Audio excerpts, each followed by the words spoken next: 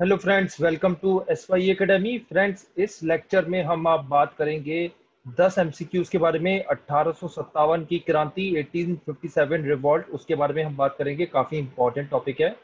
हमेशा क्वेश्चंस आपको दिखेंगे ऑलमोस्ट एक दो साल अगर छोड़ दें आप तो आपको प्रीलिम्स में हमेशा क्वेश्चन दिखेंगे। और अगर आप स्टेट पीसीएस वगैरह देते हैं तो उसमें तो हर साल ही 1857 रिवॉल्ट पे एक क्वेश्चन आता ही है। साथ साथ मैं आपको याद दिला दूँ कि क्वेश्चन की क्वालिटी थोड़ी टफ होती जाएगी इस टॉपिक से, क्योंकि ऑलमोस्ट सारे क्वेश्चन इसके खत्म होते जा रहे हैं राइट तो चलिए लेक्चर बिगिन करते हैं। आपको जैसे मैंने पहले भी बताया हुआ है कमेंट सेक्शन में आप अपना स्कोर लिखिए और आप चाहते हैं कि अगर मैं कोई स्पेसिफिक टॉपिक पे वीडियो बनाऊँ तो वो टॉपिक आप कमेंट सेक्शन पर लिख दें, आपको वीडियोस में मिल जाएगी। तो चलिए बिगिन करते हैं। सबसे पहला क्वेश्चन जो हमेशा ही मेरा रहता है, वो है who was the governor general during the revolt of 1857 चार options Lord Canning Lord Dalhousie Lord Lytton Lord Curzon तो इनमें से आपको बताना है कि कौन से गवर्नर जनरल थे 1857 के टाइम पे। याद दिला दो, उस टाइम में वॉइस रॉय नहीं होते थे। वॉइस रॉय 1857 क्रांति जब चेंज होगी 1857 क्रांति हुई, उसके बाद एक्ट आया, ठीक है? गुड गवर्नेंस का एक्ट भी जिसे बोला जाता है। उससे बोला गया कि गवर्नर जनरल नहीं, अब से वॉइस रॉय होंगे। तो बताइए इसमें से कौन है गवर्नर जनरल? और वही आंसर है कि first viceroy of India कौन थे? अगर आपसे पूछा जाए, पहले वॉइस रॉय कौन थे इंडिया के? तो वो भी आंसर सेम ही होगा। बताइए आंसर क्या होगा? देखिए फ्रेंड्स इसमें चार ऑप्शन दे रखे हैं, जिसमें से तीन जो है काफ़ी हेट मतलब इंडियंस काफ़ी हेट करते हैं उसमें। लॉर्ड डलौजी इनकी तो पॉलिसीज़ ही बड़ी अजीब सी थी। और मैं आपको वैसे ये भी बता दूँ कि सबसे ज़्यादा डेवलपमेंट अगर किसी ने करा है तो वो लॉर्ड डलौजी ने करा इंडिया के लिए। ठीक है हाँ अनफॉर्चुनेटली ट्रूथ है। उसके बाद अगर मेरे से पूछा जाए कि डेवलपमेंट किसने सबसे ज़्यादा किया, उसका लॉर्ड कर्जन आएगा। ठीक है, लॉर्ड डलौजी लॉर्ड कर्जन, दोनों बड़े हेट रेट के टाइम पे हैं। इसमें ज़्यादा कंफ्यूज मत हो जाना कि ठीक है यार, लॉर्ड डलौजी की वजह से एटीन फिफ्टी सेवन की क्रांति हुई तो शायद वही हो या आप बोल दो कर्जन है। कर्जन के टाइम में क्या हुआ था? स्वदेशी मूवमेंट याद होना चाहिए।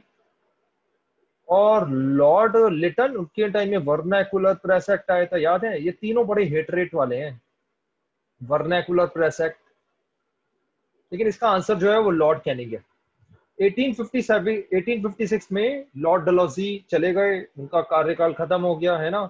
हटा दिए गए, कार्यकाल खत्म हो गया, ये एग्जैक्टली नोन नहीं है मतलब क्या हुआ? लेकिन उनका कार्यकाल 1856 में खत्म हो गया था, और 1857 में क्रांति हुई थी, उस टाइम में लॉर्ड कैनिंग थे। यही फ़र्स्ट वॉइस रॉय भी है। अगर आपसे कोई पूछा जाए फ़र्स्ट वॉइस रॉय कौन है तो वो ये है। फ़र्स्ट अगर गवर्नर जनरल ऑफ़ बंगाल पूछा जाए तो वो है answer Warren Hastings first governor general of India पूछा जाए तो उसका आंसर क्या है? उसका आंसर है लॉर्ड लॉर्ड कौन से? बेंथिक एम आई राइट और नॉट तो बताइए आप कमेंट सेक्शन में लॉर्ड बेंथिक ही कहेंगे। First governor general of India I hope ये कॉन्सेप्ट आपको क्लियर हो। Governor general of Bengal governor general of India right और क्या है? वॉइस रॉय फ़र्स्ट सब में अगर फ़र्स्ट पूछा जाए, बंगाल के तो Warren Hastings Lord Hastings Warren Hastings अलग अलग हैं, ठीक है? गवर्नर जनरल ऑफ़ इंडिया पहले कौन थे भाई? लॉर्ड बेंथिक ठीक है? स्पेलिंग लिख लेना। फ़र्स्ट वॉइस रॉय कौन है? लॉर्ड कैनिंग एलसी राइट ये याद रखेंगे आप। चलिए आगे बढ़ते हैं। अगर समझ में ना आए ये क्या है तो कमेंट सेक्शन में लिखो, आपको डिटेल में वीडियो बना दी जाएगी। Who was the prominent leader in Lucknow during the revolt of 1857 Lucknow की बात हो रही है। बेगम हज़रत महल, तात्या टोपे, कुंवर सिंह, बहादुर शाह ज़फ़र। चार ऑप्शन दे रखे हैं, बताइए कौन से हैं। तो इन बड़ी इंपॉर्टेंट लेडी हैं, थोड़ा अवध रीजन से एसोसिएटेड थी, ठीक है? बेगम हज़रत महल आंसर है। और इनके बेटे बिरजिस कद्र। राइट ये भी है। अगर ये भी पूछा जाए, इनके बेटे थे वो। बिरजिस कद्र, बेगम हज़रत महल के। तीसरा question who wrote the book first war of Indian independence right first war of Indian independence बताइए किस, किसने लिखी? कुछ बता ही नहीं रहे क्या है? ये ऐसे भी आ सकता है क्वेश्चन देख रहे हो? इसमें 1857 का कोई ज़िक्र नहीं है तब भी। या ऐसा भी क्वेश्चन आ सकता है कि who wrote the book on 1857 as first war of Indian independence हो सकता है ऐसा दे दे, या ऐसा भी दे सकता है। चार ऑप्शन है, जवाहरलाल नेहरू, लाला लाजपत राय बी डी सावरकर दादा भाई नौरोजी चारों बड़े पढ़े लिखे थे, चारों को बुक्स लिखने का बड़ा शौक था, ठीक है? चारों ने बड़ी, बढ़िया बढ़िया, टेढ़ी मेढ़ी बुक्स लिखी है। चारों की बुक्स आप कमेंट सेक्शन में मेंशन करिए, मज़ा आ जाएगा। जिसको आती है ना चारों की बुक्स बहुत ही मतलब बढ़िया पढ़ाई कर रहा है वो। इसका आंसर है friends V D Savarkar Veer Savarkar, इनके नाम पर एयरपोर्ट भी है। कहाँ पर है? पोर्ट ब्लेयर अगर कोई गया हो पोर्ट ब्लेयर का एयरपोर्ट इन्हीं के नाम पर है, सावरकर इंटरनेशनल एयरपोर्ट जेल में रहते वहाँ पे, इसलिए।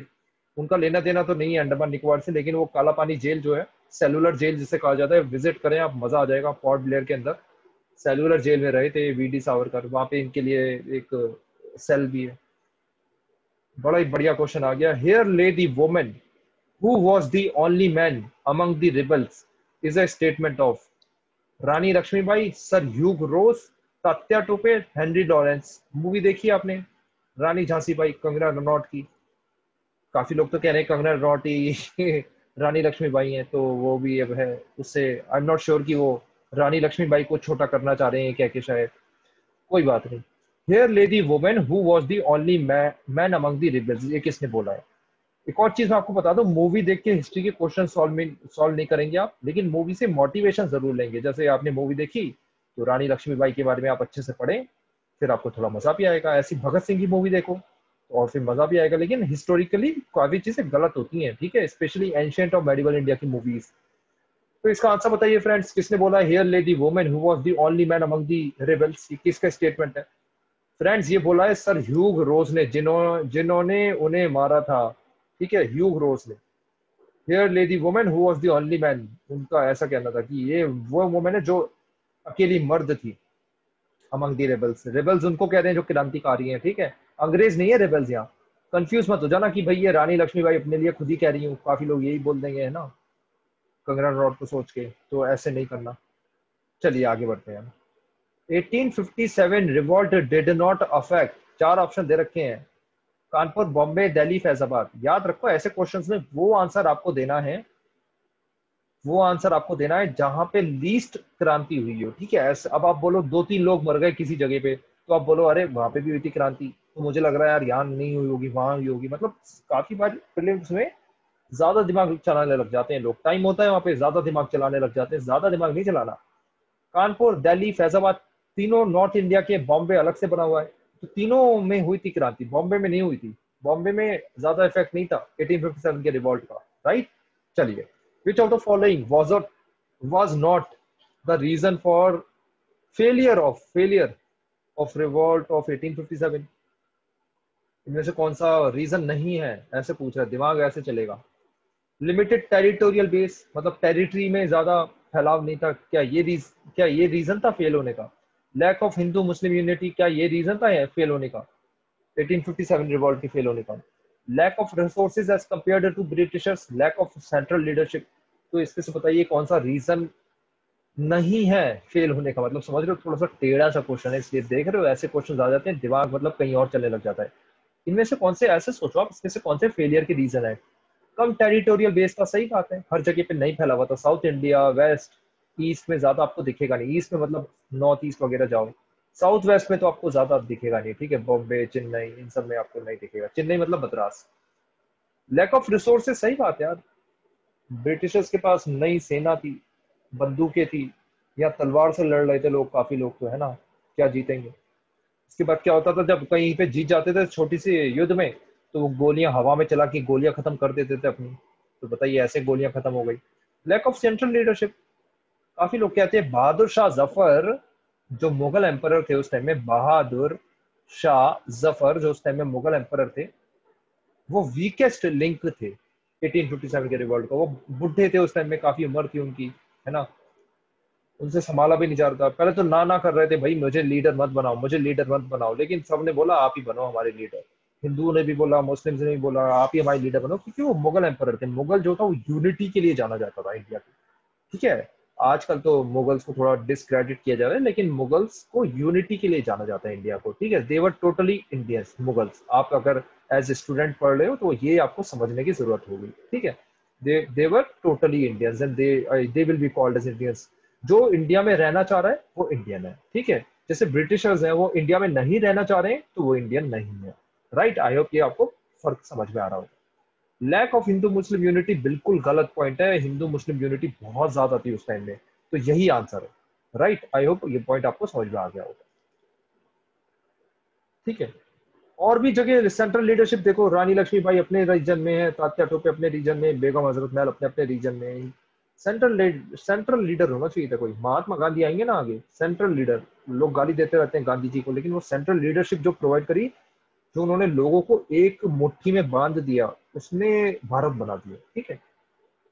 Which of the following was not the reason for the start of 1857 mutiny right देखो अलग अलग वर्ड आ रहे म्यूटिनी रिवॉल्ट रिवॉल्यूशन भी वर्ड आता है कभी कभी रिवॉल्यूशन है ना? इन सब का मतलब क्या आप कमेंट सेक्शन में लिख दो कॉन्सेप्ट क्लियर हो जाएँगे। म्यूटिनी रिवॉल्ट रेवोल्यूशन इन सब में मतलब डिफरेंस क्या है? ये discontent among sepoys heavy taxation policy of Britishers British interference in social religious affairs British policy of divide and rule इनमें से कौन सा रीजन नहीं है स्टार्ट होने का? ठीक है डिसकंटेंट था अमंग सिपॉइस उनको पता नहीं, बोला जाता था कि मास में मास मिला हुआ है कुछ उनकी राइफल्स में। हिंदुओं को बोला जाता गाय का, मुस्लिम्स को बोला जाता था पिग्स का, सुअर का। हैवी टैक्सेशन पॉलिसी सही बात है महलवारी रैयतवारी परमानेंट सेटलमेंट हवा निकाल दी इंडियंस की, खत्म कर दिया। British interference in social religious affair हाँ जी। कभी आप सती का एक्ट ले आ रहे हो 1829 में। कभी आप हिंदू विडो रीमैरिज एक्ट कभी आप बोल रहे हो यार कि अगर कोई हिंदू से क्रिश्चियन बना तो वो प्रॉपर्टी ले सकता है अपने फादर की। तो पहले क्या था, अगर हिंदू से कोई क्रिश्चियन बन जाए या किसी और रिलीजन में कन्वर्ट हो जाए तो उसके बच्चे को ना बाकी प्रॉपर्टी नहीं मिलेगी। लेकिन अंग्रेज़ों ने एक्ट लिया है, उन्होंने बोला, आपको प्रॉपर्टी मिल जाएगी अपने बाप की। तो इससे भी काफ़ी नाराज़गी फैली ऑर्थोडॉक्स लोगों में। Policy of divide and rule ये गलत पॉइंट है बिल्कुल। डिवाइड एंड रूल की पॉलिसी अठारह युद्ध के बाद अंग्रेज़ शुरू करेंगे। उससे पहले ये पॉलिसी नहीं थी। राइट चलिए आगे बढ़ते हैं। Which of the following statements are correct Delhi में जनरल बख्त खान थे कानपुर में नाना साहेब थे। वैसे ये स्टेटमेंट अगर एग्ज़ाम में आएगा तो 1857 लिखा हुआ होगा इसमें ठीक है? सिंस मैं 1857 पे वीडियो बना रहा हूँ तो मैंने मेंशन नहीं करा। तो, तो क्या दिल्ली में जनरल बख्त खान थे? और क्या कानपुर में नाना साहिब थे क्या बत, क्या लगता है आपको?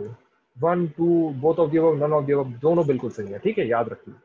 अब आ गया बरेली में क्या मौलवी अहमदुल्ला थे फैजाबाद में क्या खान बहादुर थे? One only two only both of them none of them जल्दी सोचिए बताइए आंसर सोचिए इसमें थोड़ा सा ध्यान देना। ठीक है इसमें फ्रेंड्स दोनों उल्टे हो गए हैं। बरेली में खान बहादुर थे फैजाबाद में मौलवी अहमदुल्ला थे नोट कर लो इसे। आई होप आपको सब रीजन के पता चल गया। झांसी में तो रानी लक्ष्मीबाई थी बाकी सब मैंने बता चुका कानपुर में तात्या टोपे है ना? कानपुर में नाना साहेब, तात्या टोपी भी, तात्या टोपी झांसी में भी लिख सकते हो आप, ठीक है? तात्या टोपी झांसी में भी लिखना, झांसी में लिखना बेटर रहेगा। दिल्ली में general Bakht Khan.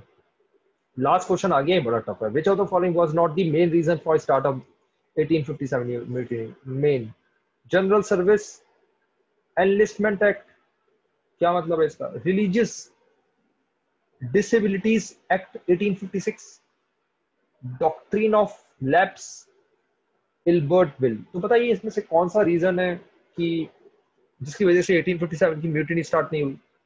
तो जनरल सर्विस एग्रीमेंट क्या है? बताइए कोई मुझे। थोड़ा आर्मी से रिलेटेड है आर्मी से रिलेटेड है कि आपको कहीं पे भी सर्व करना पड़ सकता है है ना? पढ़ना आप इसका और कमेंट सेक्शन में लिखो जनरल सर्विस एनलिस्टमेंट एक्ट क्या है। ठीक है? बंगाल से रिलेटेड है आर्मी से रिलेटेड है, उनको आर्मी को बोला गया, भाई, आप कहीं पे भी सर्व कर सकते हो।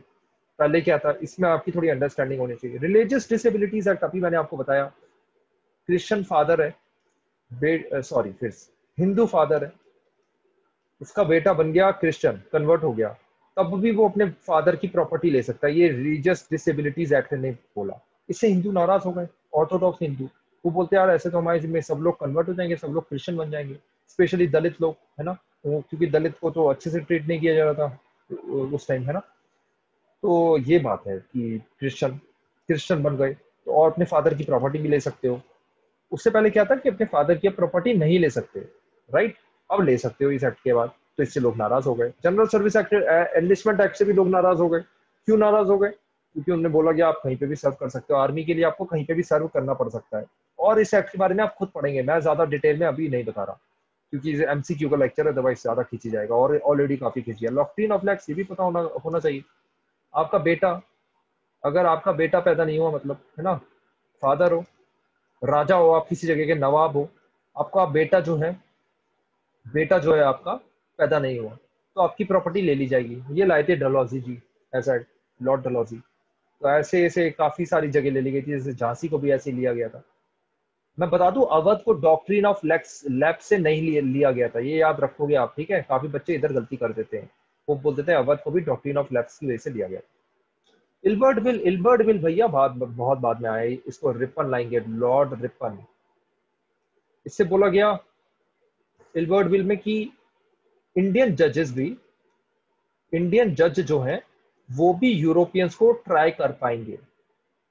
इंडियन जजेस भी यूरोपियन को ट्राई कर पाएँगे। इस, इसलिए यूरोपियन जो थे बहुत नाराज़ हो गए। उन्होंने इल्बर्ट बिल के अगेंस्ट प्रोटेस्ट करा और उन्होंने बोला, इस बिल को चेंज करो। तो इस बिल में काफ़ी चेंजेस लाए गए। तो इल्बर्ट बिल का 1857 से लेने देना कुछ भी नहीं है। पहले तीन रीजन बिल्कुल वो रीजन है 1856 की क्रांति होने के पहले तीन है रीजन ठीक है? 1883 में आया था इल्बर्ट बिल, ये लिख दिया गया। तो friends thank you for all this I hope आपका स्कोर अच्छा लगा। टेन में से स्कोर लिखिए कमेंट सेक्शन में अपना। और हमारा आप हिस्ट्री का टेलीग्राम ग्रुप ज्वाइन कर सकते हो। फेसबुक का जो चैनल है लाइक पेज जो है लाइक कर सकते हो, ठीक है? कोई भी टॉपिक में आप चाहते हो मैं कवर करूँ कमेंट सेक्शन में लिख दो, वो टॉपिक पे वीडियो आ जाएगी। Thank you and enjoy